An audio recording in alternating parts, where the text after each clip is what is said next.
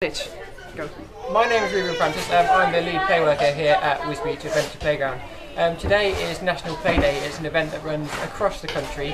Um, I believe it's on the first Wednesday of every August, um, and it really is a celebration of children's play.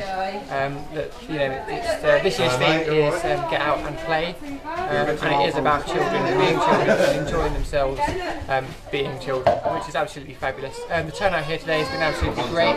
Um, I've no idea how many people have been through the gate because it's impossible to tell. Um, but overall, it's been a really good day so far.